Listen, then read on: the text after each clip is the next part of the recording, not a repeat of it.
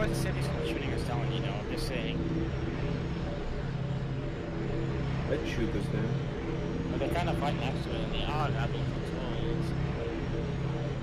Oh god, you're being moving. Oh god, I'm scared.